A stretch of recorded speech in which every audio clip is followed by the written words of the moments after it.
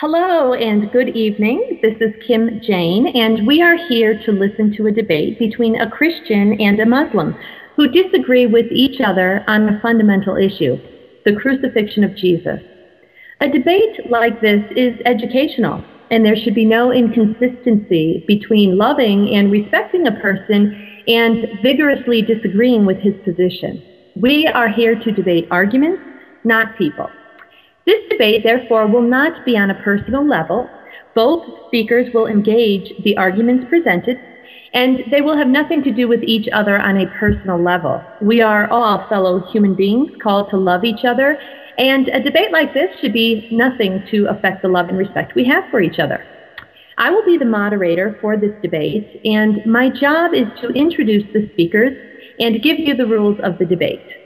And it is also my duty to see if the speakers stay within their allotted time. The title for the debate is Crucifixion, Fact or Conjecture. Christians believe that the crucifixion of Jesus is perhaps the central doctrine of Christianity. They believe that his death by crucifixion is the key that unlocks the door to salvation. In contrast, Muslims deny the crucifixion of Jesus they believe that Jesus did not die on the cross, but that God raised him up to himself. So, which is true? What are the evidences for and against the crucifixion of Jesus? Is the crucifixion of Jesus a fact, or is it just conjecture? Our speakers will be engaging with these questions as the debate unfolds. To introduce our speakers, for the Christian position, we have Jerriton with us. He is a medical student from India. For the Muslim position, we have Sheikh Inamullah Mumtaz. He is founder and president of Quranic Dawah Center International, abbreviated QDCI, in Lahore, Pakistan. And he has authored many books. His latest book is called Paulinity. He has also debated Christian apologetics, such as Sam Shamoun and he will present his case against Christianity in his latest book, Paulinity. That said, we will now move to the debate rules. The structure of the debate will be as follows. Each speaker will have a 20 minute opening statement, followed by two 10 minute rebuttals and two 8 minute rebuttals, one for each speaker. The speaker will then provide a five minute closing statement. If either of the debaters goes over their allotted time, I will interrupt and promptly ask them to terminate their time. The time will be sounded by the alarm of a bell tower. Jerriton will be our first speaker who will be giving us his 20 minute opening speech, and the time begins when he begins. Uh, I begin by thanking Mr. Mumtaz for accepting my invitation to debate this important topic. And I also thank Kim Jane for volunteering to moderate this debate. The topic for our debate is the crucifixion of Jesus. Was it a real event that happened in history? Or is it a conjecture? Now, notice that the question is not is the Bible the Word of God or is the Bible inerrant? Therefore, I am not going to defend the inerrancy or the inspiration of the New Testament. The debate is also not about St. Paul.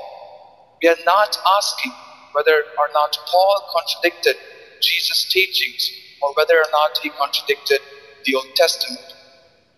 Also, notice that the question is not why did Jesus die? We are not in this debate asking the meaning or the theological interpretation of Jesus' death. Rather, we are asking the question Did it happen? Was it real?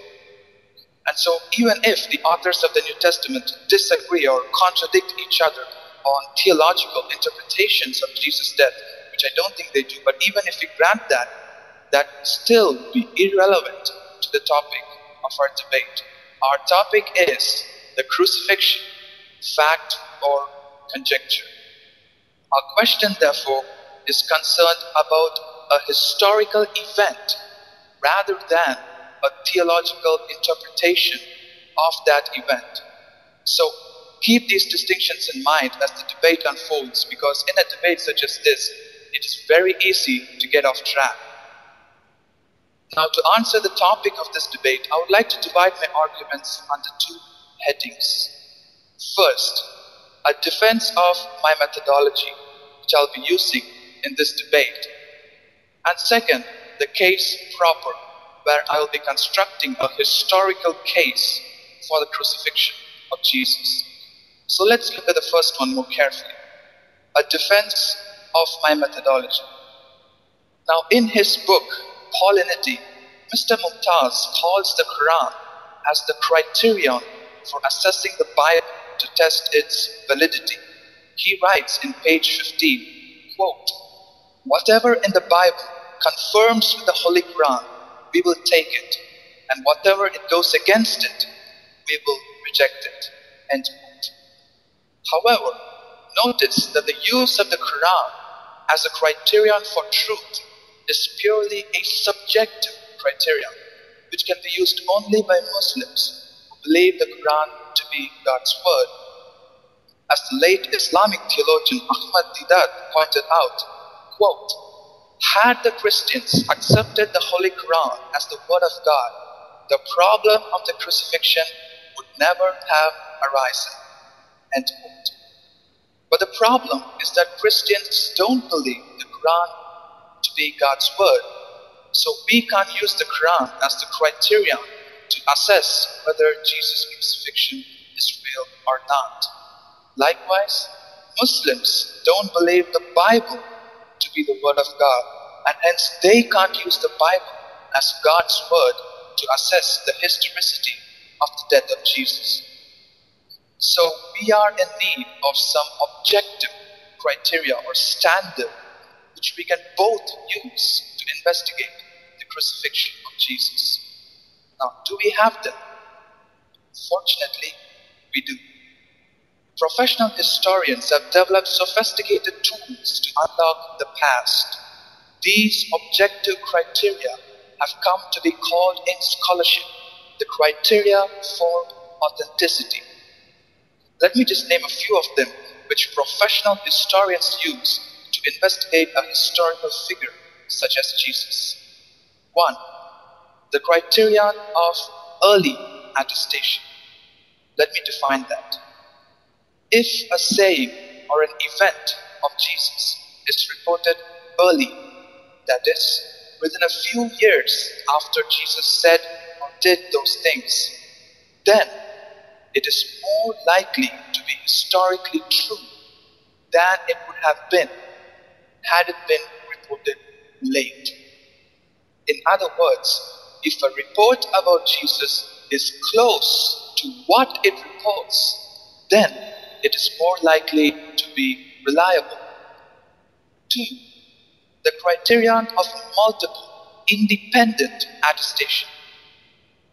An event mentioned in several independent documents is more likely to be historically true than it would have been had it been mentioned in only one. Three, the criterion of embarrassment. If a tradition about Jesus is embarrassing or awkward to the author who writes it and to his community, then it is highly probable that it is true because the author won't invent or make up such an awkward tradition about Jesus. Four, the criterion of unsympathetic report. If a tradition about Jesus is reported in writings of authors who were unsympathetic towards or disinterested with the early Christian movement, then that tradition is likely to be historically reliable. This criterion is also called the criterion of enemy attestation.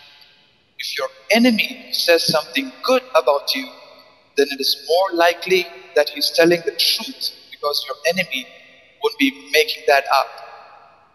Now, there are several other criteria, such as the criterion of dissimilarity, the criterion of contextual credibility, and so forth. But these four criteria, which I've just now defined, are sufficient to build my case. Please note that these criteria are commonsensical. Whether you are a Muslim, a Christian, a Jew, a Hindu, an agnostic, or even an atheist, you can agree to use these criteria as well. In other words, these are objective standards or criteria. These are the tools of modern professional historiography which historians use to unlock sayings and events of people in the past. Now, of course, using these criteria will not yield 100% certainty. However, we can establish historical events to a point beyond any reasonable doubt. Now, that said, let us now come to the second one the case proper. Here, I will be using the criteria for authenticity, which I've just now mentioned, to build a historical case for Jesus' death by crucifixion. I will provide four lines of reasons for thinking that the crucifixion and death of Jesus is real. Reason number one Jesus' death by crucifixion passes the criteria of early attestation. One of the most important advancements in contemporary New Testament scholarship is the discovery of pre Pauline materials or quotations peppered throughout Paul's epistles. And one such pre Pauline quote is the creedal formula quoted by Paul in 1 Corinthians 15, verses 3 through 8. Paul writes in 1 Corinthians 15, 3 to 5 I delivered to you as of first importance what I myself received that Christ died for our sins in accordance with the Scriptures, and that he was buried, and that he was raised on the third day in accordance with the Scriptures, and that he appeared to Cephas, then to the twelve. Notice that Paul is saying that he gave to them, that is, the Christians in Corinth, what he himself was given. Now, to give you a timeline, Jesus died in AD 30, and Paul writes this letter in AD 55. He first visited Corinth and delivered the gospel to them in AD 51. So if Paul delivered the gospel in AD 51, then he must have received it before AD 51. Now, scholars generally place Paul's conversion into Christianity between 18 months and three years after the death of Jesus. So we will take it to be approximately two years after Jesus' death. So if Jesus dies in AD 30, then Paul is converted in AD 32.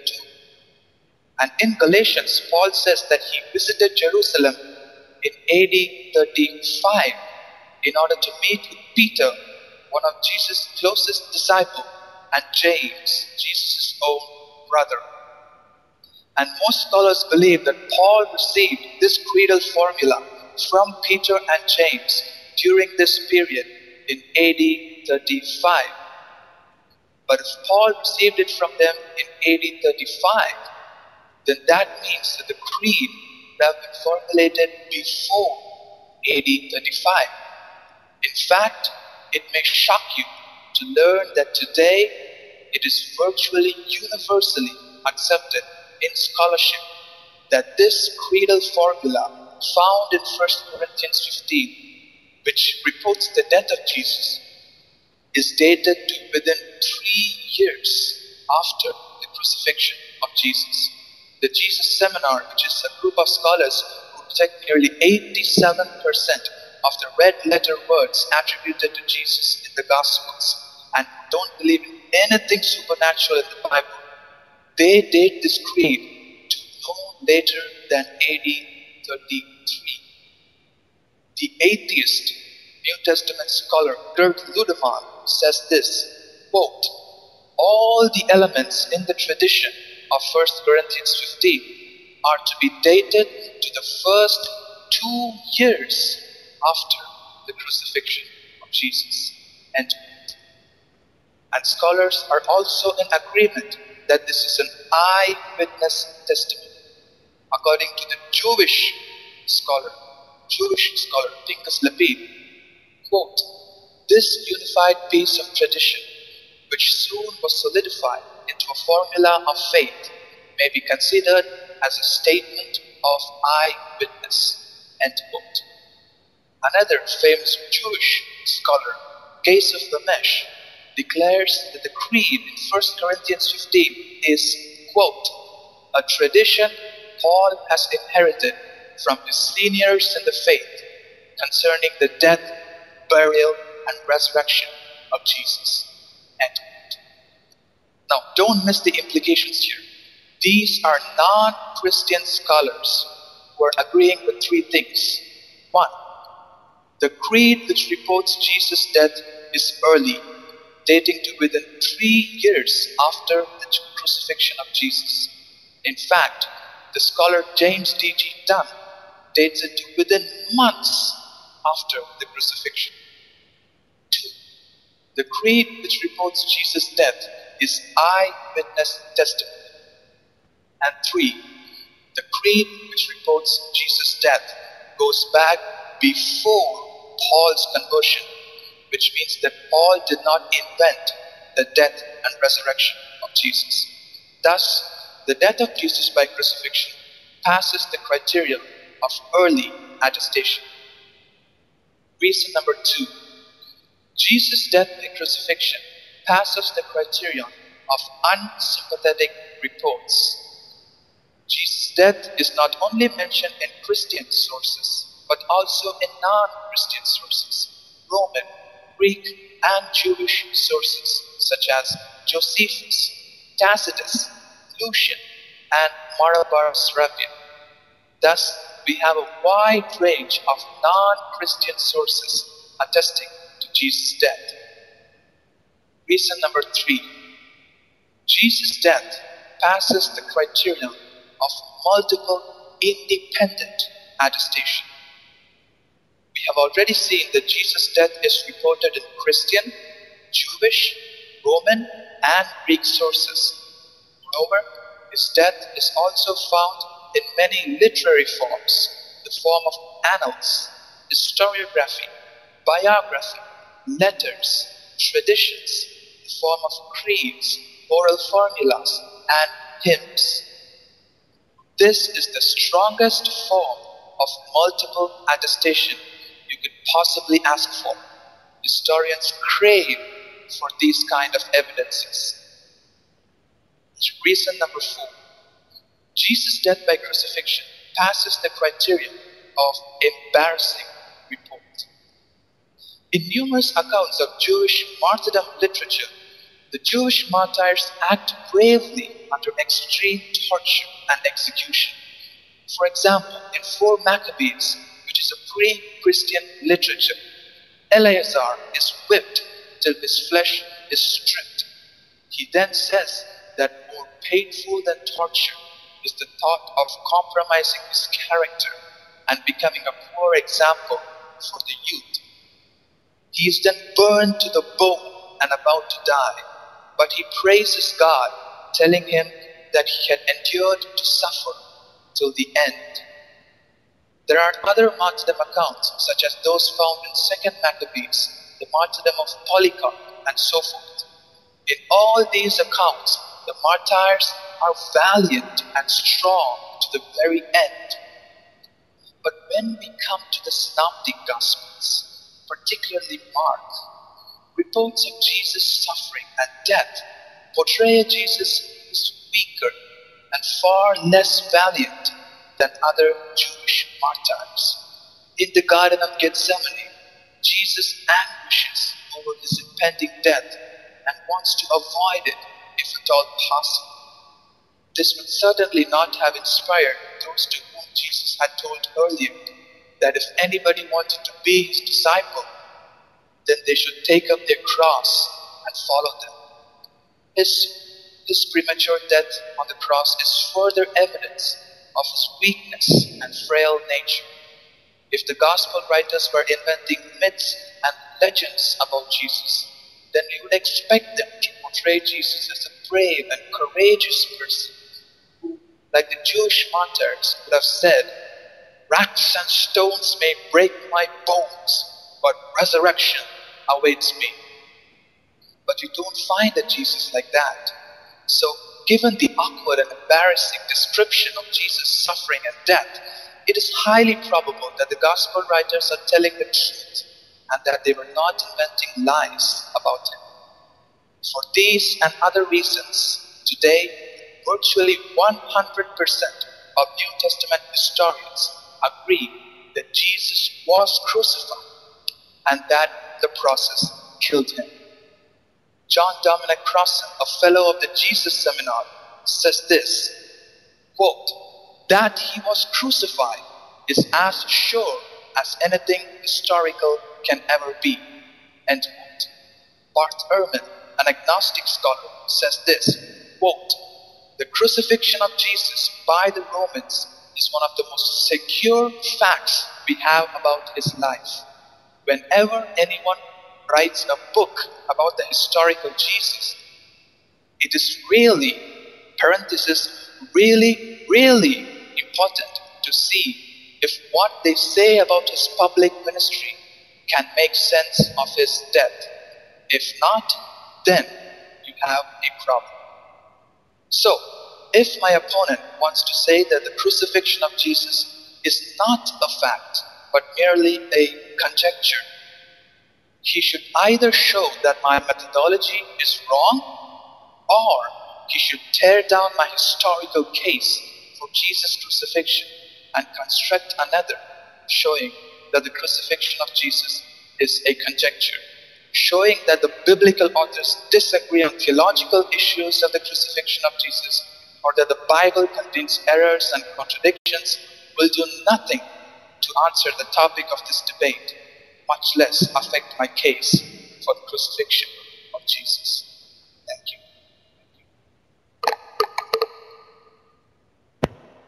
Okay, that was Jerriton's opening speech. Now Sheikh Inamullah Mumtaz will begin his opening statement for 20 minutes. أعوذ بالله من الشيطان الرجيم بسم الله الرحمن الرحيم وجعلنا ابن مريم وأمه آية وأويناهما إلى ربوة ذات قرار ومعين صدق الله العظيم قال رب اشرح لي صدري ويسر لي عمري واحلل عقدة من لساني يفقه قولي Respected viewers, listeners and moderator, thank you very much for this opportunity. The ayah which I have read is actually from Surah Al-Mu'minun, chapter 23, verse 50. Allah says, And we made the son of Mary and his mother as a sign. What is the sign? That he was born miraculously without any male intervention. We gave them both shelter on high ground, affording rest and security and furnished with springs. Chapter 23, verse 50. Meaning, not a bruise was given to Jesus Christ and his mother all along in their entire lives. This is what it means in the Holy Quran, chapter 23, verse number 50. It is amazing that Jerriton rarely used any quotation from the Bible. He only used 1 Corinthians chapter 15 by Paul, and that's all. All the time he was talking about history, history, history. I will not quote history. I will give few history, the, the apocryphal books which uh, denies that crucifixion event. Book of Isaiah says, Prophet Isaiah, God is speaking to Isaiah in chapter 43 verse number 10. God says, Ye are my witnesses, you people down on the earth, saith the Lord, and my servant whom I have chosen, meaning Isaiah, that ye may know and believe me, who? God, and understood that I am He, I am He, God, God alone. Before me there was no God formed. God said to Isaiah, Before me there was no God formed. Meaning, if the Hindus are crying about Hanuman and all these, you know, Shiva, Brahman, Vishnu, God said, uh-huh, I never came down to earth or in any form. Neither shall there be after me. God said, Neither there shall be after me, not anything formed before me. There is no Savior. And the next verse says, I, even I, am the Lord, and beside me there is no Savior. Isaiah chapter 43, verse number 10 to 11. Now I'm asking to the fellow Christians, brethren, that this verse is very explicit, dogmatic, and emphatic. That no Savior will come, and I am God, no formation will come, God incarnate. This Isaiah prophet, when God was revealing to Isaiah, these Jews were not having Jesus with him, with them all along. There was no man God with them. So my brother Jerriton will explain that. Then the book of Psalms says, chapter 49, verse 7 to 9, no one can die for the sins of another. No dying for the sins of another. If these things must be understood correctly, there was no need of crucifixion events. Because crucifixion is the thing that God died for our sins on the Calvary cross. This is the heart of the matter. He died and he redeemed the original sin. There is a saying, all truth passes through three stages. First, it is ridiculed. Second, it is violently opposed. Third, it is accepted as being self-evident. When Prophet Muhammad opened his mouth against Makkah, what happened? They ridiculed him, they laughed over them, over him, Prophet Muhammad. Second, they violently opposed him. That don't spread the message of Islam. Third, it is being it is accepted as being self-evident. And it was accepted because the evidence was so strong. And I hope the evidence which I'm going to give to you people, inshallah, it will work. And this quotation was not by me, it was by Arthur Schopenhauer. I hope I pronounced right. Then there is another quotation by Major Yeats Brown in the book In the Life of the Bengal Lancer. He says, No heathen tribe, heathen means you and me. Sorry, not you, only me and the people who doesn't believe in, in the uh, Christian Christianity doctrine. No heathen tribe has conceived so grotesque an idea, meaning filthy, dirty idea, involving as it does not the assumption that man was born with a hereditary stain upon him, original sin. Remember, I just quoted few minutes before, and that this stain for which he has not personally responsible was to be atoned for, and that the creator of all the things had to sacrifice his only begotten son to neutralize this mysterious curse. My dear brothers and sisters, and whosoever listening to the debate, Major Yeats Brown said this is the most nonsensical idea. You are not being concerned, and the God will judge you. Couldn't He forgive you? The majesty of God, He can forgive you. That's the real majesty. Not that He's He's just degrading Himself in a mother's womb. Uh, 40 days she was impure, and she has to sacrifice pigeons because of the Old Testament, the book of Leviticus. No, he said, no, this is not the right ethics of doctrine and theology. Coming to the subject, where we Muslims stand. I have to clear this point where we Muslims stand. The commentary of Surah An-Nisa chapter 4 verse 157 commentary where we Muslims stand that let me clear at this point we Muslims don't believe that Jesus was put on the cross for a while and he got free from death. We don't believe that.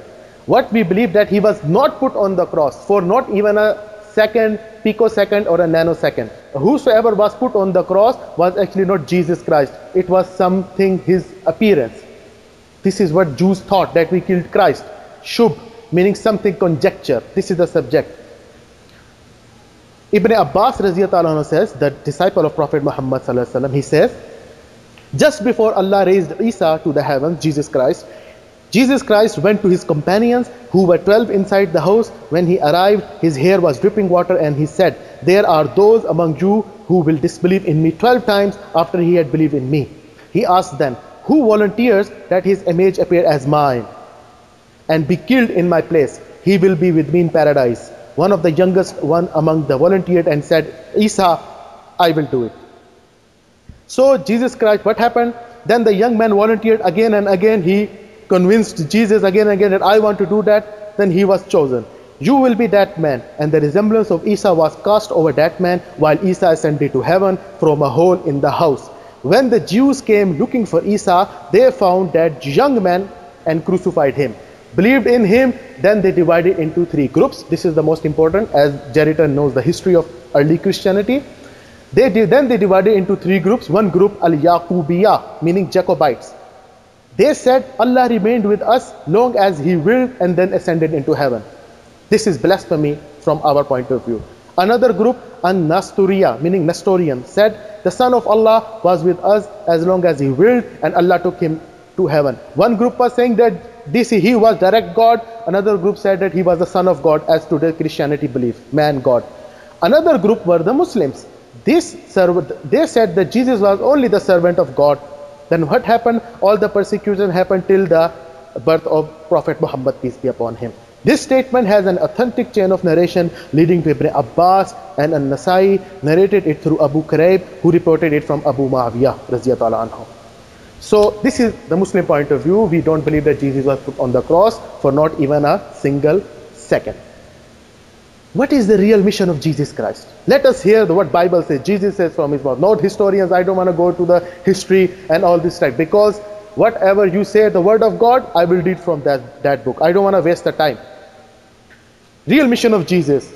Jerriton will explain. John chapter 17 verse 1 it says, These words spake Jesus and lifted up his eyes to the heaven and said, Father, the hour is come, glorify thy son I don't want to go into the son relationship because God has gotten the you know sons by the tons in the Bible. Anyhow, glorify thy son, that thy son also may glorify thee. Thee is the singular. As thou hast given him the power over all flesh. God has given him the power of eternity, whatsoever he want to do. His power was not his own power. God gave to him. That he should give eternal life to as many as thou hast given him. What is life eternal? I want to ask the Christians. They said the life eternal is what? To believe in Jesus on the cross. Then you will be saved. You will be redeemed. Atonement. But over here, it says this is life eternal. Jesus is addressing to the Jews that this is life eternal. Not crucifixion or resurrection. He said that they might know thee, the only true God. You are the only true God, God Almighty, and Jesus Christ whom thou hast sent. Where is the crucifixion? Where is the resurrection? If I were the if I were the Jew at a time of this uh, this uh, statement of Jesus Christ, was I entitled to heaven or not? If I believed in Jesus, that Jesus, yes, you are the prophet of God, and you have thou been sent by by the God Almighty, and He is the God who is in the heavens. So would I be entering into the heavens or not? Yes, of course, because there is no resurrection, no crucifixion. Then Jesus says, I have glorified thee on the earth. I have finished, I have finished the work which you gave us to me. What does it mean? I have finished the work. If something was pending on his queue, then he wouldn't have said this statement, I have finished the work. And now, O Father, glorify thou, glorify thou me with thine own self, with the glory which I had with thee before the world was, in the knowledge of God. And you know what happens now? The new translation of the version of the Bible, they remove the word finished. This is what I never like in the, the authors of the Bible are doing to the language, to the translations, deceiving to the people, deceiving to the people. The word here, Jesus says, I have finished. This word finished is taken out all the new translation of the version because this word is used in John chapter 19 verse 30 where Jesus is supposed to be saying on the cross, it is finished with me. These authors, they think that how can you do two finishes to get your pay? So they remove one finish and they put word complete. Now what is the difference between complete and finished? No, the complete has a sense of in the terminology that you have something more to do. So they remove the word finished and they put the word complete. And John chapter 19 verse 30, they put the word finished. What games you people are playing. Anyhow, now let us come to the, the marching of Jesus Christ towards the temple of Jerusalem. What I am trying to tell you about from the Bible is the conjecture. This is not right. This is what I am saying. Because Allah says in the Holy Quran, in chapter 4 verse 157, 158, وَقَوْلِهِمْ And they said in boast, Inna qatalna al-Masiha Isa ibn Maryama Rasulullah that we killed Christ Jesus the son of Mary the messenger of Allah وَمَا قَتَلُوهُ وَمَا سَلَبُوهُ Allah says but they killed him not nor crucified him وَلَكِنْ شُبِّهَ لَهُمْ but it was made to appear to them so وَإِنَّ الَّذِينَ اخْتَلُفُوا فِيهِ and those who differ therein لَفِي شَقٍ مِّنْهُ are full of doubts Bihi min ilm, they have no certain knowledge what really happened. Illa zan, because they are following zan, which means conjecture, guesswork, fiction. Wama qataluhu yaqinan, but surely they killed him not. Read Mark chapter 14 verse 50. Mark says, the most critical juncture at the lifetime of Jesus Christ was all his disciples forsook him and fled away. All forsook him and fled away fled away. So how would they know what really happened? This is allah says everything what they are following is something guessworks. This might happen. No this might happen. This gospel says this this gospel says this. These are the guesswork and religion doesn't go with guessworks. So this is what i'm trying to prove. You can sense there is something you know fast and loose with the scriptures. They are not sure what they are talking about in the bible Jesus was marching towards the city, uh, Jerusalem. This was his right mission, real mission. People were saying, Hosanna, the son of David. Hosanna, the son of David. Luke chapter 19, I'm reading. And what happened? Jesus was marching. He said to the people, to the disciples, the, when the other people were stopping them, Jesus told to his disciple that in Luke chapter 19, verse 27, those who do not want that I shall reign over them, I shall rule them, bring them hither and slay them in front of my eyes. Jesus says, slay them with the sword or what? Slay them who doesn't want that I should rule, I should rule him or her. So what is this all about? If his purpose was crucifixion, his purpose was self-sacrificing, this is not the way to self-sacrifice. So Jesus is saying that this is my mission, what? To glorify God. Because Jews were going they were breaking the laws of the gods and the commandment. So this is what Jesus came to rectify and to put them and to exceed their limits from the scribes and the Pharisees. This is the real mission of Jesus. He said that, Father, I glorified thee. Khalas. Now my mission is finished. I need my pay. Then Jesus was marching towards the What happened? He failed. This is what Bible says. He failed. It was a failure. Then what happened? He was escaping here and there. All this crucifixion. They tried to murder against Jesus Christ. So Allah says, وَمَكَرَوْا وَمَكَرَ اللَّهُ وَاللَّهُ خَيْرُ الْمَاكِرِينَ And the, these Jews or whosoever, they plotted a plan to kill Jesus and Allah too planned. And the best of the planners is Allah. So there is nothing about original sin or redemption. There's nothing about this. Jesus came to deliver the message. As John the Baptist came and he was beheaded. As Jesus came, they also tried to kill him, but God saved him. Let us come to the tittle tattle of spiritual body or a physical body with flesh and bones. This is the conjecture. Jerriton, this is the conjecture. We read 1 Corinthians chapter 15. Before going into it, let me tell to my viewers, when Paul saw Jesus' apparition on the road of Damascus, it was not physical, it was spiritual. According to this understanding, he wrote all his epistles that Jesus died and was resurrected spiritually, not physically. Remember that. We read 1 Corinthians chapter 15 verse 4 that he was buried, that he was raised on the third day according to the scriptures. I am asking why according to the scriptures. If Paul was sure, he must use from the scriptures or God revealed me, not according to the scriptures. According means he doesn't know what he's talking about. And what scriptures is he talking about? This is my question to the general Christian. What scriptures Paul was talking about? Matthew, Mark, Luke, and John. These four gospels were not written at Paul's time. What Old Testament? Which verses he's talking about? Let us hear those verses. 1 Corinthians chapter 15. Paul says, if Christ is not risen from the dead, our preaching is in vain, our religion is vain. Nothing. Christianity has nothing to offer to mankind. What? If Christ is not risen from the dead. Paul says in 1 Corinthians chapter 15 verse 42, what is resurrected body look alike? He says, so will it be the resurrection of the dead? The body that is sown is perishable, it is raised imperishable. It is sown a natural body, it is raised as a spiritual body. So far, so good? Yeah, that's it. He says spiritual body, not other body. Jesus confirmed the statement of Paul in Luke chapter 20. Jesus says, there, were, uh, there was a case, some of the Sadducees came and they asked the question, the teacher, Moses wrote for us that if the man's brothers dies and leaves the wife and on and on, then the heart of the matter, Jesus says that if somebody is dead, now then at the resurrection, whose wife will she be, she be? Since the seven were married to her, the question was asked, Jesus replied, the people of this age marry and are given in marriage. But those who are considered worthy of taking part in the age to come in the resurrection from the dead will neither marry nor be given marriage. And they can no longer die, for they are like the angels. And then Jesus says, they are God's children, since they are the children of resurrection. So Paul says spiritual. Jesus says angels, meaning spiritual and angels are synonymous terms. If not, then it is a contradiction. So, according to Jesus, once you die, you will be likened to the angels having no flesh and bones. And Paul said in 1 Corinthians chapter 15, verse 40 to 48, resurrected body will be spiritualized. Jesus says further, it will become likened to angels. It means angels and spiritualized are synonymous terms. Then we read in Luke chapter 24, as time is very premium, I don't want to go into the details. Luke chapter 24, verse 36, we read.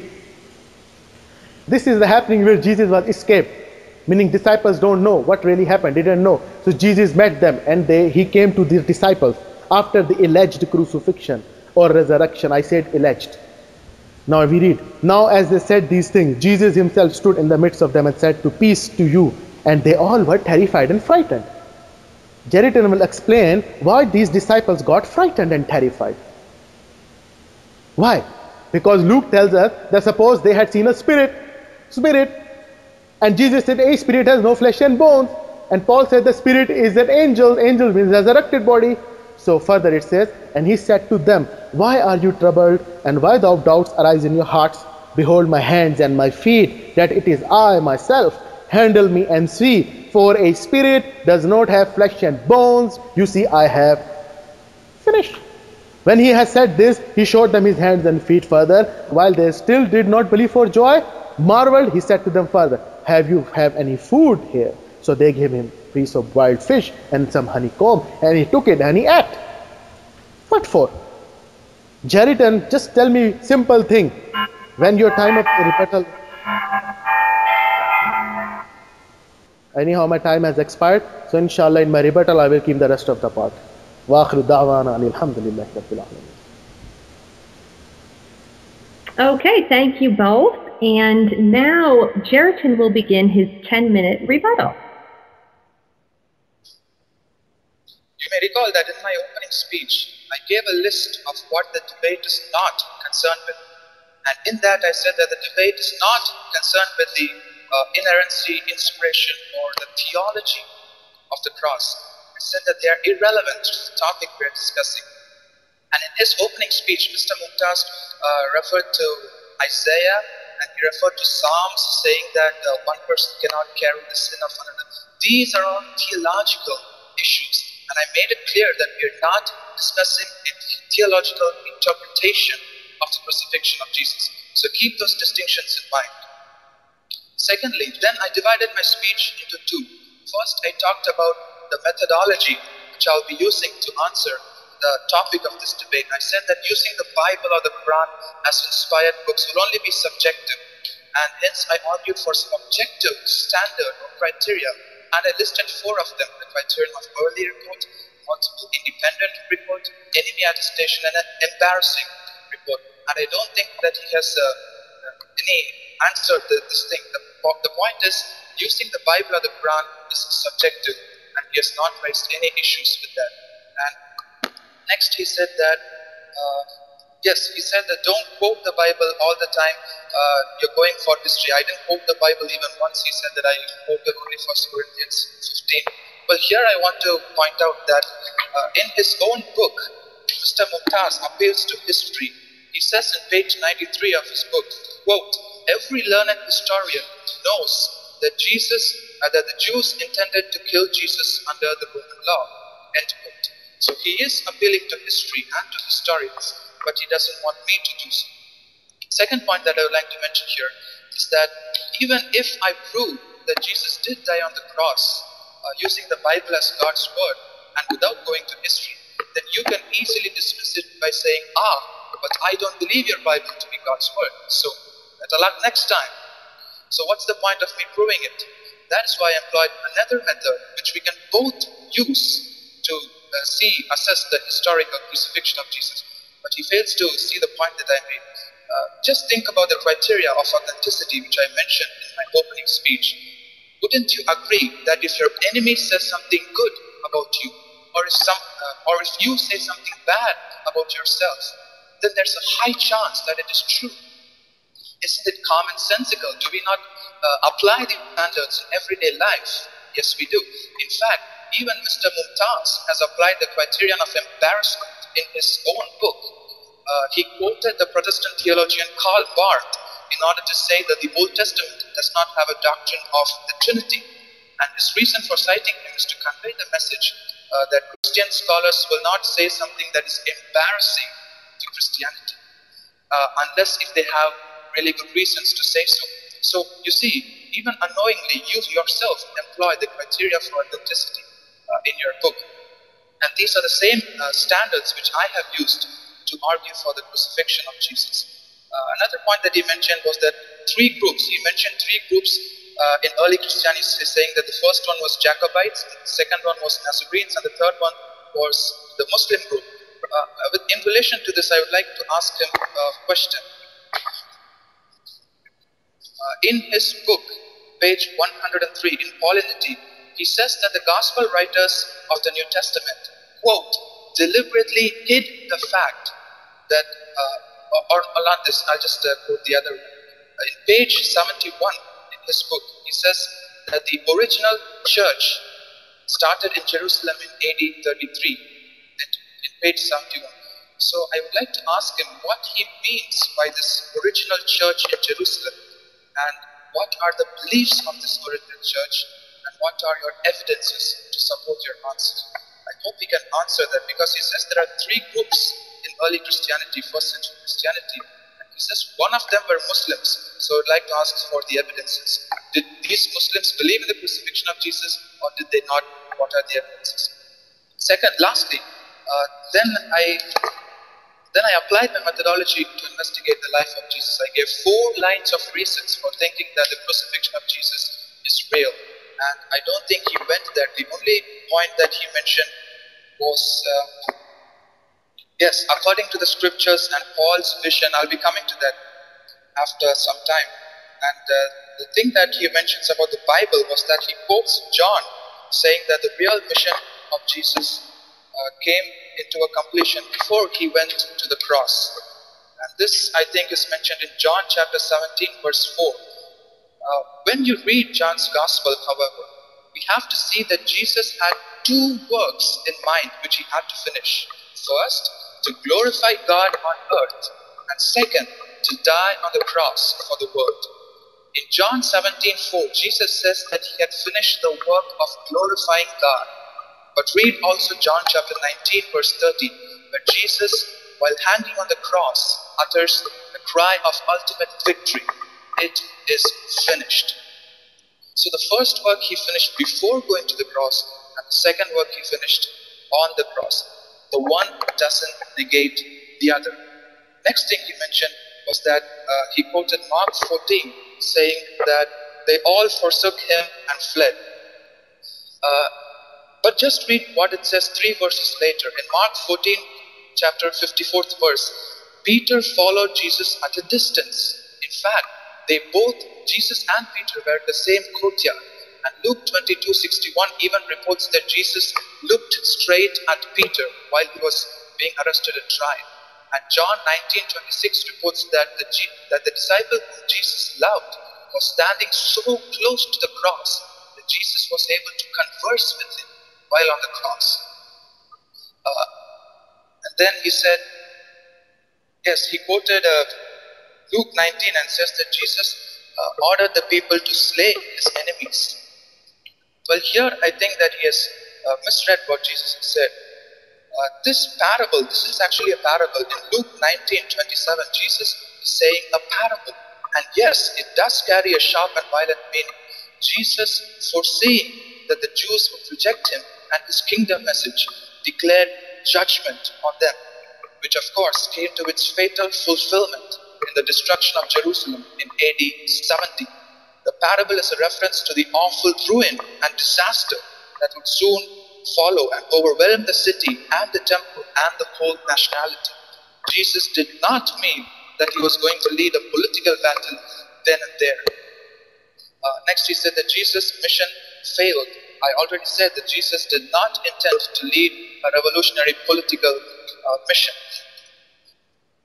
And then uh, he came to 1 Corinthians 15, uh, first, he said that Paul saw a vision of Jesus. It was not a flesh and blood. Uh, yes, but this is because Paul's uh, Jesus' appearance to Peter was post-ascension, whereas his appearance to the disciples were pre-ascension. And whatever you make of Paul's appearance, Paul clearly believed in and preached the bodily resurrection of Jesus. Just read Acts chapter 13, verses 36 to 37. Uh, I don't have time to quote it, but you can read it. Paul says, uh, David died and his body is still decaying, but Jesus died, his body is still not decaying. God raised him. So it's in Acts 13. And another thing that he mentioned was the, yes, why according to the scriptures? Here, uh, here I can give two responses. The Greek is actually kata, which means in accordance with. And the first response that I would like to give is that the words accordance, in accordance with the scriptures, is a theological interpretation of the historical death of Jesus. Hence, it doesn't affect my historical case. Even if the theological interpretation is wrong, that Christ uh, died but not in accordance with the scriptures, it still doesn't affect the historical case uh, around which the theological interpretation is formed. Second response I would like to give is that Jesus did die in accordance with the scriptures. And by scripture, Paul is not referring to isolated proof texts uh, that seem to prophesy the death and resurrection of Jesus. Rather, uh, as the Pauline scholar N.T. Wright says, quote, the scripture which Paul has known and loved as a young man was a story, was like a story in search of an ending. And when Jesus rose from the dead, the ending was now revealed. And uh, according to the scripture, meant that the long scriptural narrative of the story of Israel has now reached its dramatic climax the death and resurrection of Jesus. It's not talking about one or two proof texts from the Old Testament. It's much richer than that. It's talking about the forward running story of Israel, beginning with Abraham and reaching its unexpected climax in Jesus, his death and resurrection. Then he mentioned that Paul makes the distinction about physical and the spiritual body. All right, I don't have time for this. I'll go for it in the next speech. Thank you. Thank you, Jerriton. Now, Sheikh Inamullah Mumtaz will begin his 10-minute rebuttal. Jerriton, first of all, let us decide that is the debate is coming from the Bible or is coming from the historians' books. If, well, if you want to quote history, then we will go to the history. We'll have another debate for that and you are quoting about Paulianity. I have to do very fast in this, this time format. You are quoting about Paulianity. You are discussing my book over here. My book has so many meanings, shades of meaning, and there are so many contexts behind it and after that. So you can't pick one thing and say, Mr. Mumtaz, believe that, believe that. So if you want to talk about the Paulianity, we will have something, some other time for that. Let us talk about your scriptures.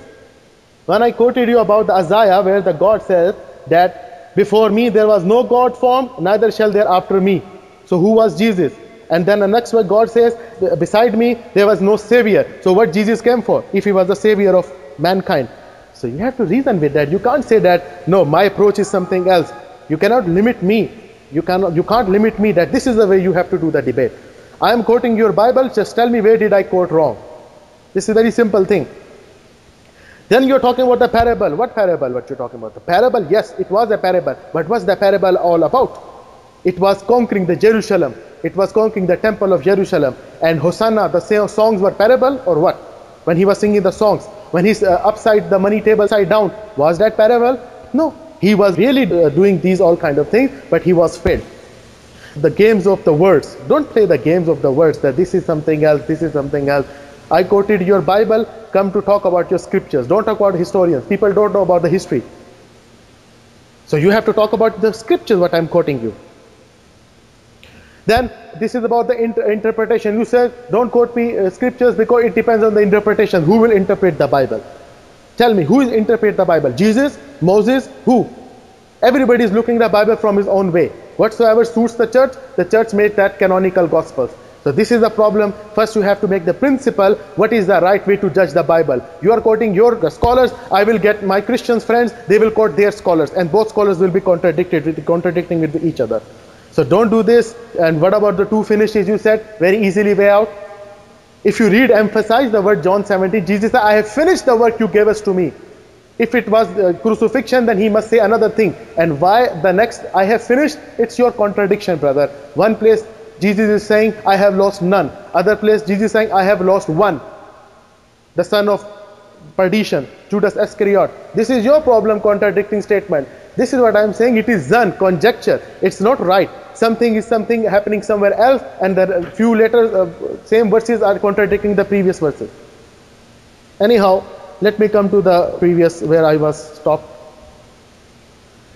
You know, there is a miracle book of Jonah. Jerriton knows very well, and he will explain me. You know, scribes and the Pharisees, they came to Jesus in Matthew chapter 12, verse 38, 39, 40, and they asked him, Master, show us the sign. Show us the miracle if you are the Christ.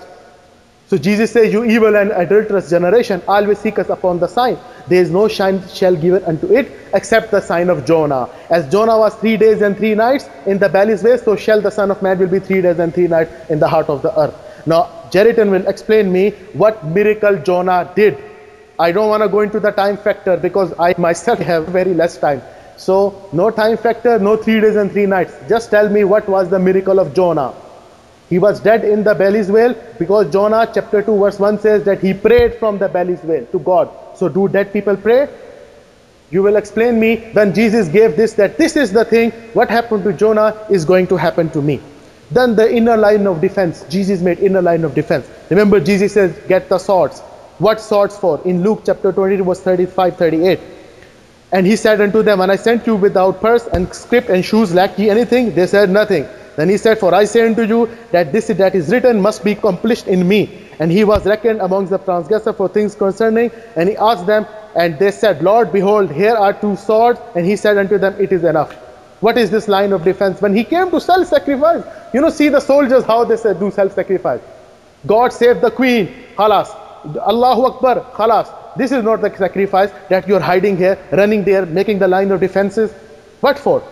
So, please explain when Jesus said that I will be like Jonah, how can you put him like to be a Jonah? And book of Isaiah, when God says that no form was made before and that, I will quote you Bible.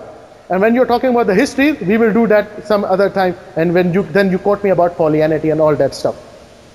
Here comes the contradiction, conjecture. Now here these contradictions, they are so severe contradictions in resurrection and all these alleged crucifixion events, then even a school child will understand that. Look at the contradiction. Still dark or not dark? Mark chapter 16, verse 1 to 2. When Sabbath was over, Mary Magdalene, Mary the mother of James, and Salome bought spices and they thought to anoint Jesus. Very early on the first day of the week, just after sunrise, just after sunrise, and John 20 says, Mark says this, Mark is the most oldest gospel, Jerriton knows very well, and John says, early on the first day of the week, while it was still dark. Now our moderator is she's American. She can tell me that if you say it in English, it was still dark. What does it mean? And if you say just after the sunrise, what does it mean? So brother Jerriton will explain what does really happen. How many disciples did Paul see? He was talking about the you know witnesses of the disciples. How many disciples? Paul says that Jesus was seen to the Cephas and then to 12 disciples, meaning total 13 disciples. Who were these 13 disciples? Cephas was a Peter, because Judas Iscariot committed suicide. So there were not total 12 disciples. And if you put Matthias for the substitution of the book of Acts chapter 1 last verse, then still it is 13 disciples because it says then to 12, then to Cephas. Now who are the 13 disciples of Jesus? We never heard this terminology in entire Bible. Then how many disciples did Mark see? Mark chapter 16 verse 14, he says that and Jesus appeared unto 11 as they sat eating. Appeared unto 11? How? How 11? Judas Iscariot committed suicide and Thomas was not there. Doubting Thomas. In John chapter 20 we read that he was doubting him. He was not there. So which 11 disciples he was talking about, brother Jerriton will explain. Then there's an event in the Bible, this amazing event. Dead corpses wandering around. Matthew only saw it. This is the amazing thing. Matthew says, and behold, the veil of the temple was rent in twain from the top to the bottom, and the earth did quake, and the rocks rent, and the graves were opened, and many bodies of the saints which slept arose and came out of the graves after his resurrection, and went unto the holy city and appeared into many. Khalas. What happened after that? Finished. Can you imagine Adolf Hitler incinerated 6,000 Jews and only one journalist had recorded it? Only Matthew saw it, no Luke, no Mark, no nothing, not a single, you know, doodle is there about this great event, and they missed it out. Only Matthew saw it. Jerriton will explain if it is so potent evidence, why only Matthew saw it, none of the other disciples saw it. Now there is a severe contradiction regarding regarding the verses. Look, the oldest document is Mark. Mark says, Jesus is quoting through Mark. Mark chapter 10, verse 34 says, And they will mock him, mock who? Jesus. Flog him with a whip and kill him, but after three days he will rise again. After three days. Hear my word, I said after.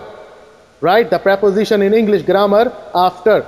Now then Matthew 17, 23 says, And they shall kill him, and on the third day he shall be raised again. Do you know the difference between on the third and after three days? On and after the preposition. Luke chapter 18 verse 33 says, They flog him and kill him on the third day. 1 Corinthians chapter 15 verse 14 says, on the third day, on the third day, on the third day. And Mark, which is the oldest record document, says after three days. Now, Jerriton will explain either it was on the third day he was resurrected or after three days he was resurrected. Hope so, and American will help him in his English language. Oh. alive. We said alive. You know, Jesus, he was alive. You know, all the word resurrection, not once used in the four gospels for the Jesus Christ. You know that? Not once. Matthew, Mark, Luke, and John, not once the word resurrected is used for Jesus, for he was that he was resurrected. You never see the word. The word which is the Bible used is alive.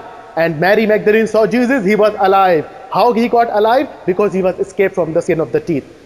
Jews thought that he killed him, he was not so. So he was alive, he was wandering here and there. They saw Jesus alive, not resurrected, not spiritual. He was alive, he was alive. Mary Magdalene saw, he is alive. Two angels saw, he was alive. Two disciples from the Emmaus, they saw him alive. My time has expired, inshallah. For the next session, I will be dealing other parts. Thank you very much.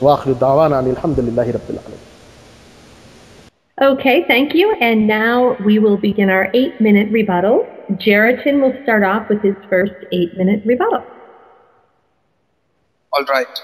Uh, I'll just start off with where I left off earlier. Uh, regarding 1 Corinthians 15, the physical and the spiritual body that Paul is talking about here, uh, the Greek words that Paul is using for natural and spiritual is psychikos and pneumatikos. Thus, Paul writes, It is sown a psychikos body, it is raised a pneumatikos body. So, what does Paul mean by this? Uh, in that same letter in 1 Corinthians chapter 2, verses 14 and 15, Paul says, The natural man does not accept the things of the Spirit. Uh, they are folly to him, and he is not able to understand them. But the spiritual man judges all things. So here Paul is contrasting the natural and the spiritual man. Same words. Notice the same words. The unsaved man who is led by his fleshy nature versus the Christian who is led by the Holy Spirit. Notice that these same words are used in 1 Corinthians chapter 15 verses 44 uh, where he talks about the natural body and the spiritual body. It does not mean that the spiritual body is non-physical. Rather, it means that the resurrection body is controlled by God's Spirit. In fact, uh, Mr. Mumtaz himself agrees with me on this point. Uh, for in his debate with Sam Shamoun uh, regarding the prophethood of Muhammad, this is what Mr. Mumtaz says. I'm quoting him word for word. Quote, then, first epistle of John, chapter 4, verse number 1, it says, Beloved, do not believe in every spirit, but try the spirits whether they are from God. Now, now the true spirit is the true prophet. End quote. Notice what he says. The true spirit is the true prophet. Now it says spirit, but he's saying that the spirit is Prophet Muhammad. Now, I, I don't think that he's really imagining the prophet to be some kind of a non-physical person. So it's clear that he himself agrees that the word spiritual also means physical. Second response that I would like to say is that the Greek word for natural, which Paul uses, actually means soul. So if we are to literally translate the word from Greek, it should read, quote, it is sown a soulish body, it is raised a spiritual body. Now, notice that Paul is telling that our present bodies are soulish bodies. Does this mean that Paul is saying that we are non physical souls without flesh and bones flying around? Does he say that our present bodies are made out of soul alone? Certainly not. In the same way, the word spiritual means that the body is animated by the spirit. Second thing I would like to say is that he mentioned the marriage and resurrection, which Jesus says in three places Mark 12, Matthew 22, and Luke 20. Uh, it is important to know that saying that we will be like angels does not imply that we will be like them ontologically. For example, if I say that you're like my brother, you would immediately ask, In what way? You will not assume that I meant that you're like your brother in that both of you have flesh and bones, because I have not specified in what way you are like your brother. So, similarly, when Jesus said that they will be like angels, that phrase alone cannot tell us in what way they will be like angels. You have to take the context. Uh, the Sadducees asked Jesus a question concerning marriage and resurrection, and Jesus' response can actually be formulated in a standard argumentation form. Let me just construct Jesus' argument in a standard form. Premise one angels don't marry.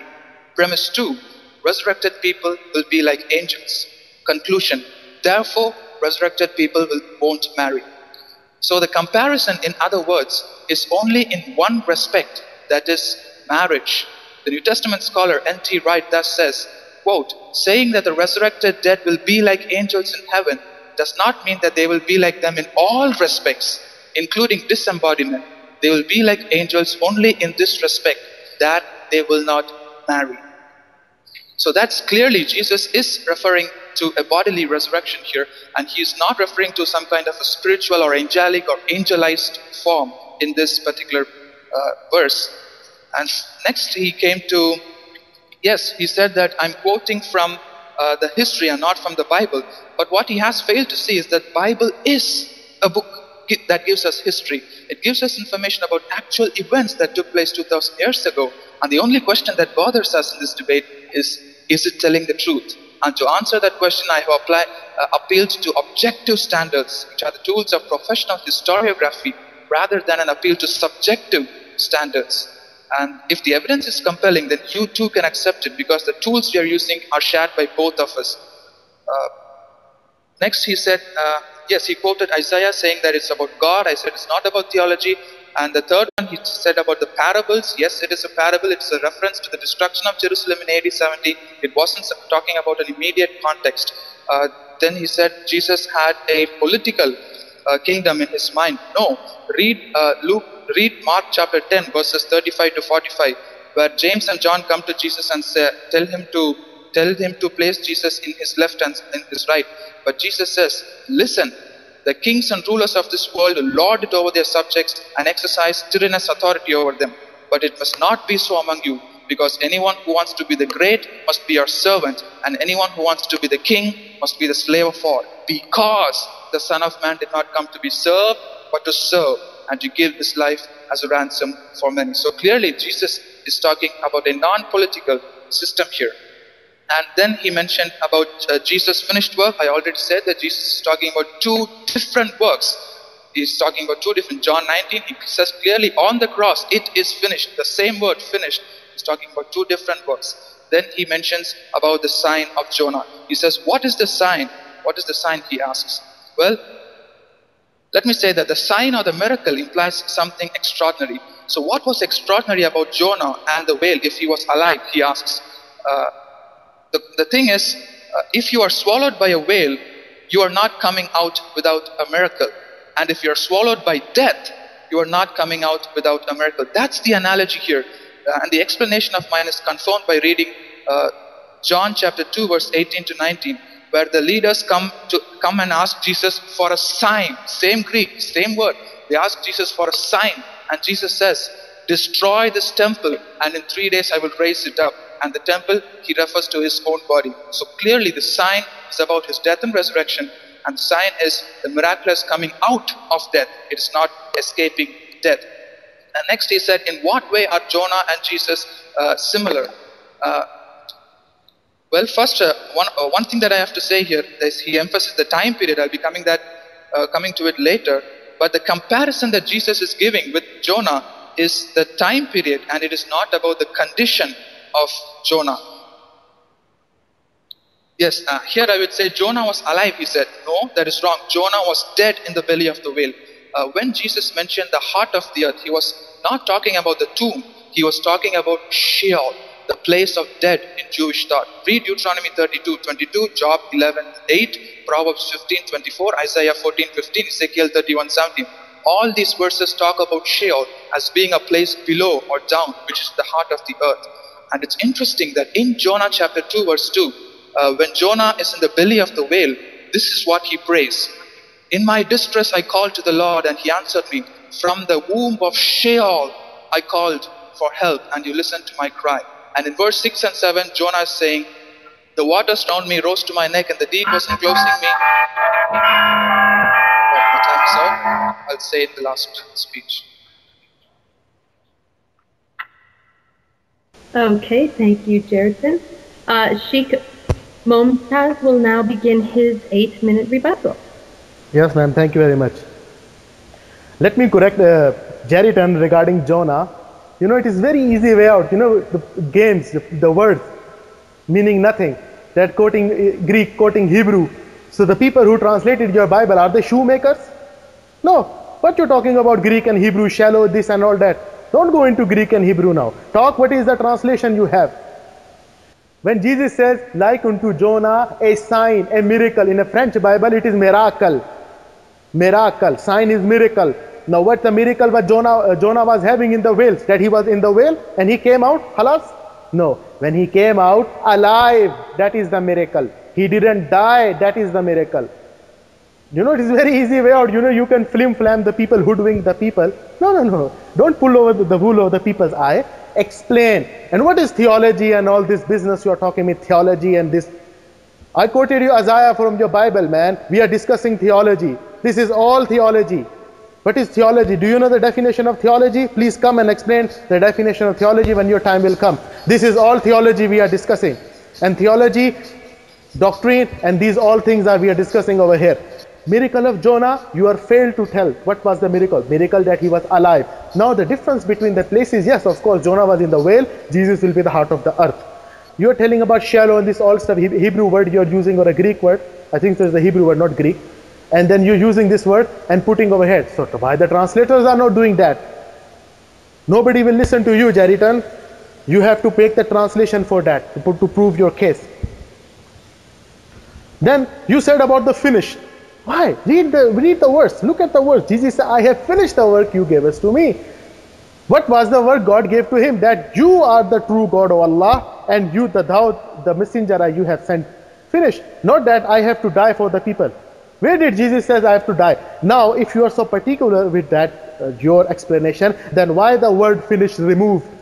You tell me, why the translator, new translator, they don't carry the word finished? Why? Now they remove the finish, they put the complete. If the words are same meanings, you better explain now. Then, contradictions in Judas' death. You know, there is a contradiction. And one more thing, he didn't explain. Remember, I said on the third day or after three days. You know, that's the problem. On the third day or after three days. You have to explain which writer is saying right. Mark is saying after three days, and the rest of the writer saying on the third day. So you explain this before you leave. Contradictions in Judas' death. Matthew says that, how did Judas die? He says, then Judas, which had betrayed him, he saw that he was condemned, repented himself, and brought again the 30 pieces of silver, and on and on. Now what he said, and he cast down the pieces of silver in the temple and departed and went and hanged himself. Hanged himself. The Greek word they use is a choking or squeezing bit with you know, grief and emotions. Now Acts, Acts, the book of Acts says, now this man purchased a field. What is purchasing of a field? This means that he was a happy man, you know, he purchased the field, he was so rich. Another says he threw the money on the table or wherever on the ground, he threw it. So he says, he cast down the pieces of silver in the temple and the rest other writer says no no no. He kept them and he bought the great field. And what happened? He burst open in the middle and all his entrails gushed out. Please Jerriton explain this which is the right event. You know it is very easy to make flowery statements with the playing the games of the words. Let me rephrase brother Jerriton what things he should come and tell us explain the Isaiah verse without making excuse of theology. Okay, I don't need theology. Second, the miracle of Jonah, did that happen or not? Did Jesus die or not? Did Jonah die? Because Jesus said, what happened to Jonah is going to happen to me. I don't think so. There is any difficulty in it. Now, about the kingdom of heaven. You know, this is amazing. There are so many things. What, what can I quote you in the minimum time? Look, uh, if you read Luke chapter 1, verse number 33, angel came to Mary and said, Mary, fear not, you will have a child, glad tidings, and his name shall be Jesus. His, his name shall be Jesus, and he will take his father's throne, David's throne, and he will rule the house of Jacob forever. Jerriton, do you understand the word forever? Forever in English means since you born till your death or whatsoever after that. It means forever. There is no time of starting in it. In English word when we say forever, forever. So angel said that he will rule the house of Jacob forever. And what happens after that? He will take his father's throne, David. you know what really happened? Pontius Pilate was sit uh, on the David's throne and interrogating Jesus. Instead of Jesus would interrogate him. Angel said that he will get his father's throne, David. Jesus said, My own received me not. Angel said to Mary that he will get this. He will rule the house of Jacob forever. Who is ruling in Israel right now? Please, the enemy of Jesus, Jews, who killed him on the cross. They are ruling Israel right now. They are ruling. They have the power of throne on all thrones. They are sitting on it. So prophecy says forever. Forever means forever. Neither Jacob, the house of Jacob accepted Jesus, nor he got anything, the throne of David. And he's contradicting this statement when Pontius Pilate asked Jesus, Thou art the Christ, and on and on stuff, uh, Thou art the king. Jesus says, My kingdom is not of this world, but the hereafter. But angel said that he will be the king of the world. He will take the David's throne. He will rule the house of Jacob forever.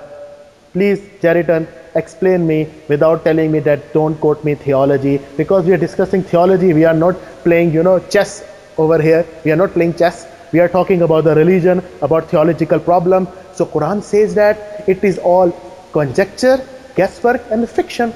I gave you the references about the fiction. They don't know what really happened. He's talking about the flesh. When Jesus says, handle me and see, a spirit has no flesh and bones you see me have. He's telling you clearly. You are telling me about Sam Shamoun debate. Don't quote me about what happened about Sam Shamoun debate, what I said or not. You are telling about that. I said that about the spirit. Yes, the letter which John is talking about, it is talking about general stuff. He's saying that a spirit, meaning a person will come. But over here, Jesus emphasizes a spirit has no flesh and bones you see me have. So don't mix these two events to prove your case. You know, if there is no explanation given, that is what, what I'm telling you, Jerriton. Heed the explanation. Jesus says, first of all, why they got terrified. You know, read the, you know, you, are not reading the whole context. Read the context why the, the people are terrified because Luke tells us that he, they were affrighted because they thought that he was a spirit. Why? Because Mark chapter 14 verse 50, all disciples forsook and fled him. Was Peter watching him from behind or from one kilometer away? That's not my business. Your Bible says all forsook him and fled away. It means they don't know what really happened. And that is why they got terrified. Thomas was not there in the upper room too. So when they got terrified, because this is the basic instinct that they thought that he was dead. The guy was dead. Anyhow, thank you very much. I have been noticed my time has expired. Okay, thank you for that. And Jerriton will now begin his closing statement. He has five minutes. All right. In my closing speech, I would like to draw the threads of this debate and see if we can get to a conclusion. I began by listing a series of questions which we are not concerned with this debate. Questions regarding the inspiration of Scripture, apostleship of Paul, or the theology of the cross. I made it very clear the topic of this debate is the crucifixion of Jesus. Is it a fact that happened in history, or is it a conjecture? So once we are asking about a fact that happened in history, we have to look at the evidence objectively. So the topic of the debate is clearly about a historical event. Did the crucifixion really happen? That's the thing. That is what history is.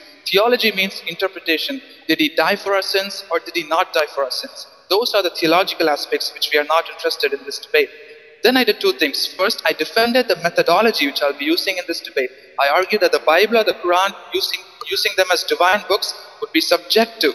And he hasn't responded to that. I said, only one side can use it. If I quote the Bible and say that Jesus died, you can say, I don't believe the Bible to be God's word. So it's subjective. And then I went for an objective criterion or plumb line in order to investigate the death of Jesus. And I argued for tools which we normally use and which historians use to investigate the matter.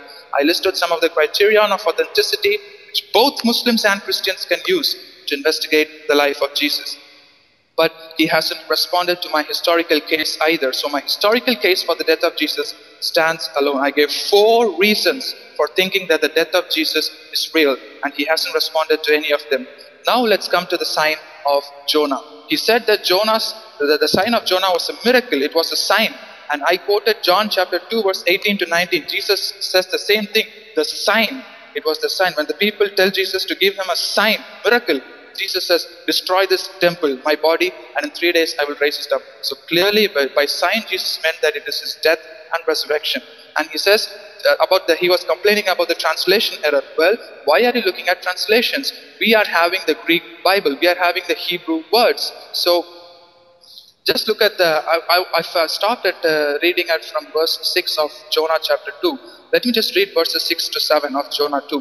Where Jonah says, In the belly of the whale, notice that Jonah is in Sheol. The Hebrew word is Sheol, the place of the dead.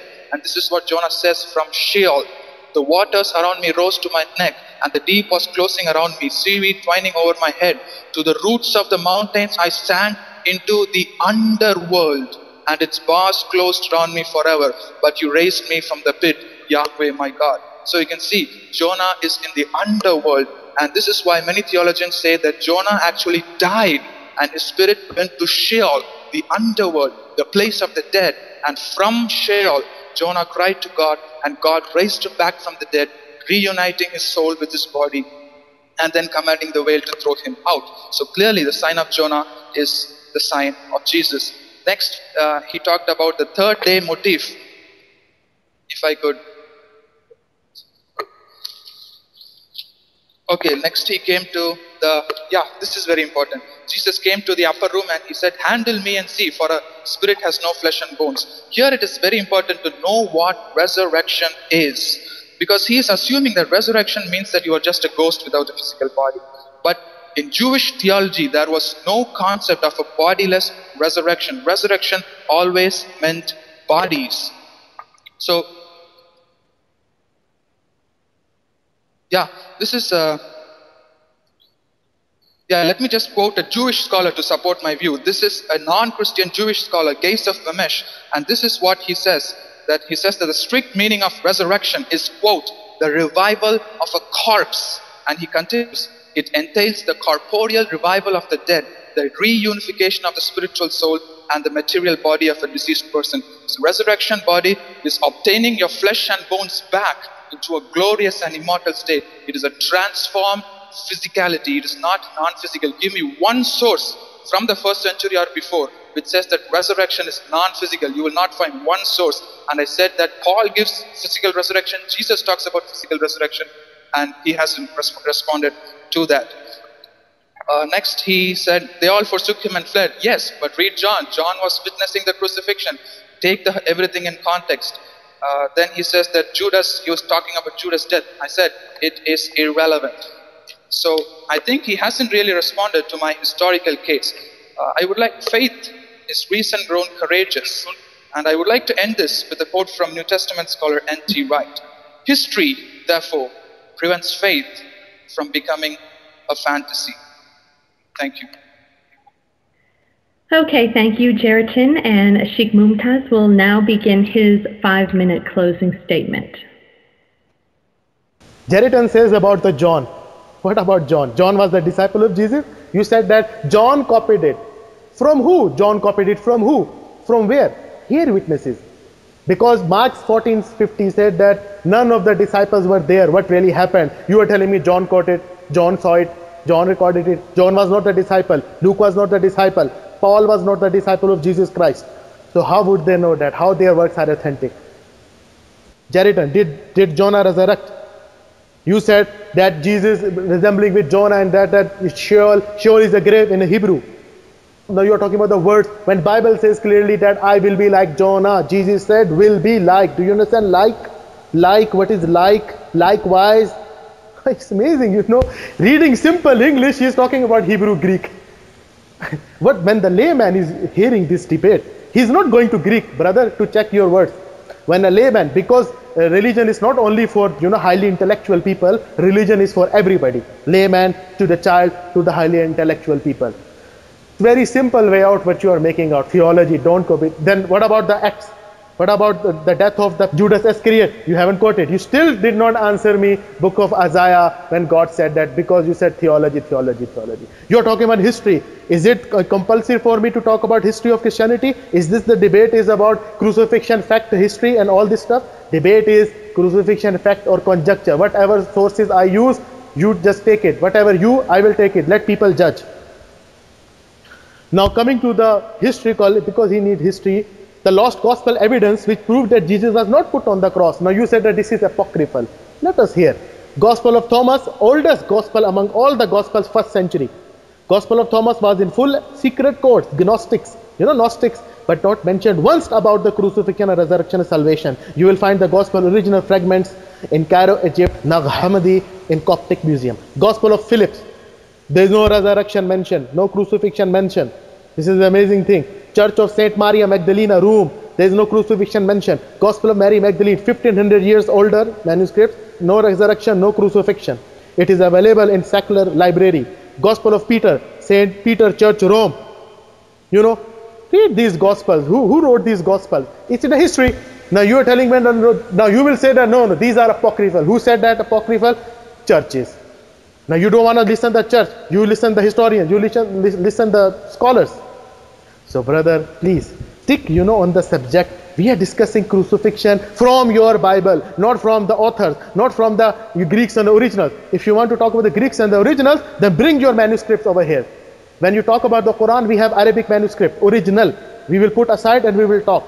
You are making statements, the word is there, this, and when Jesus is talking about this, just tell me, why would Jesus uh, telling to the disciples, assuring them that a spirit had no flesh and bones? Do they don't know this about stuff? They were Jews, they know that. If you, what you are making it out, Jerriton, that this is Hebrew is something else. So the Jews, were they Grecians? Were they Filipinos? No, they were Jews. They must understood everything, all this theological stuff. You, and you are yourself are explaining theology, stopping me, restraining me that don't quote theology. You yourself using theology all along. And Jesus, why Jesus is telling them that a spirit has, but the kids, they don't know a spirit has no flesh and bones. Why? Because they thought he was a spirit. Why they thought he was a spirit? Because they thought that he died. Simple, basic. You are just, you know, um, beating around the bushes and flim-flaming and hoodwinking to the people. Please, brother, don't pull the wool over people. I Simple thing when Jesus, why Jesus is just telling to the disciples, a spirit has no flesh and bones as you see me have. What was the reason for telling these things? Because they thought something had happened in the past and they were not eyewitnesses and hear witnesses. And the contradiction I give you swear on after you haven't come to that. Why? It was related to the crucifixion. Somebody says on the third day, and one says after three days. You haven't explained, and you will never be able to explain till doomsday because this is the you know grave error, contradiction in the Bible. One writer says Mark says, and rest of others all different. And Mark is the oldest gospel. So should I follow Mark that Jesus was raised on the third day, or should I follow other one that he was raised after three days? Anyhow, I think so my time is already running out. So the verdict is, the last verdict which I'm going to quote before I just cut off. If the Jews are in the indicted, if the Jews are in the indicted for the trial for the murder of Jesus Christ, yes, they are guilty. They are guilty not not for murder but attempted murder. وآخر دعوانا أن الحمد لله رب العالمين. Okay, well, thank you for that. Thank both of you for your courage and uh, your ability and, and your time for coming to share that with us. We hope those listening have enjoyed listening to this debate, and we will let you, the listeners, be the judge for yourself. Thank you and have a great day.